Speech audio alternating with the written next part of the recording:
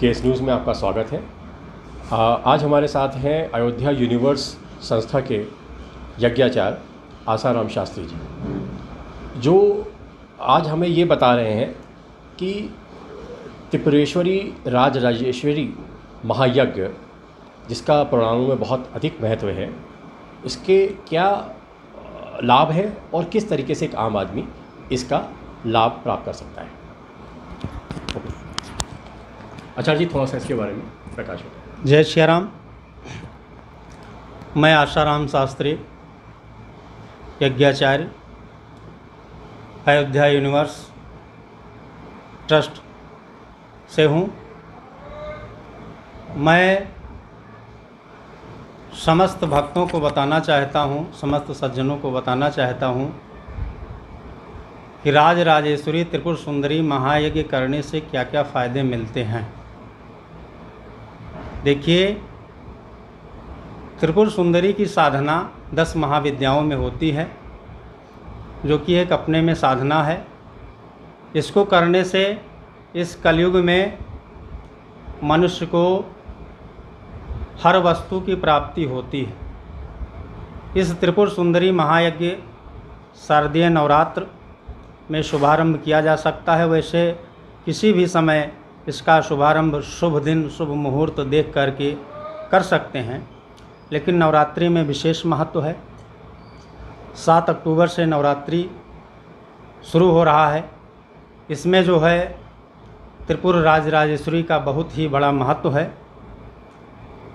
इसमें राज राजेश्वरी की आराधना की जाती है। हवन किया जाता है।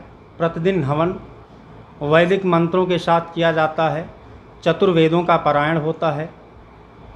ये सब करके और राज राजेश्वरी का आवाहन करके जिस भक्त को जो भी कामना हो राज्य की प्राप्ति, धन की प्राप्ति, ऐश्वर्य की प्राप्ति, धर्म, अर्थ, काम, मोक्ष, चतुष्टय, पुरुषार्थ को देने वाली राज राजेश्वरी भगवती भक्तों की इच्छाओं को पूर्ण करती है।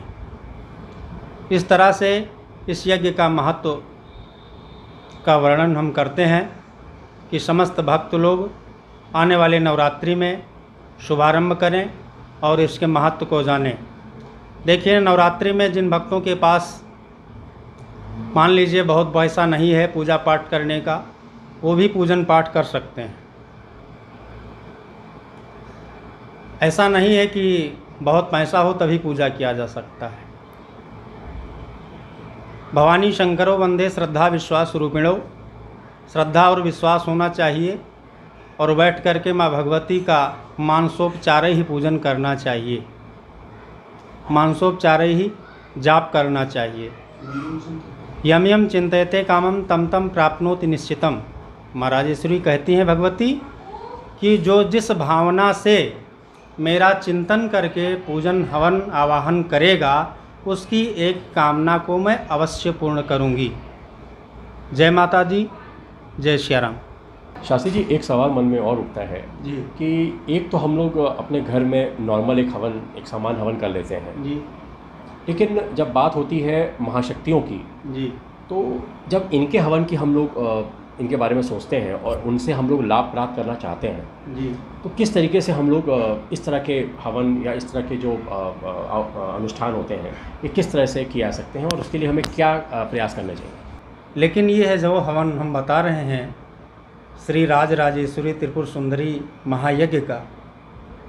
इस हवन को करने से मानव जीवन के समस्त जितने भी ग्रह बाधा है, जितने भी रोग बाधा है, कितने भी प्रकार की बाधाएँ हैं, समस्त बाधाएँ नष्ट हो जाती हैं, लेकिन ये यज्ञात्मक रूप से होता है।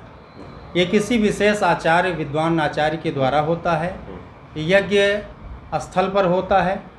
यदि कोई विद्वान हो तो वो स्वयं भी कर सकता है, लेकिन उसकी जानकारी चाहिए। लेकिन ये यज्ञात्मक में इसका पारायण किया जाता है, इसका अनुष्ठान किया जाता है, आवाहन किया जाता है आवाहन करने के बाद माँ राज राजेश्वरी का आवाहन होता है, वो पधारती हैं, तब इस हवन को, इस हवन में चरु की हवन की जाती है। पया, खीर, दूध और चावल और पंचमेवा, घी, ये सब मिश्रित करके और इसका खीर बनाया जाता है, उस खीर से हवन किया जाता है। इस हवन को करने से समस्त प्रकार के कष्ट का निवारण होता है, मानव जीवन सुखमय होता है, और कोई भी मन इच्छा की प्राप्ति हो राज सत्ता की प्राप्ति हो, ऐश्वर्य की प्राप्ति हो, सुख की प्राप्ति हो, समस्त बाधाएँ टलती हैं, समस्त अभ्युदय फल प्राप्त होता है। यही इसका महत्व है। सर जी, केस न्यूज़ से बात करने के लिए बहुत बहुत धन्यवाद।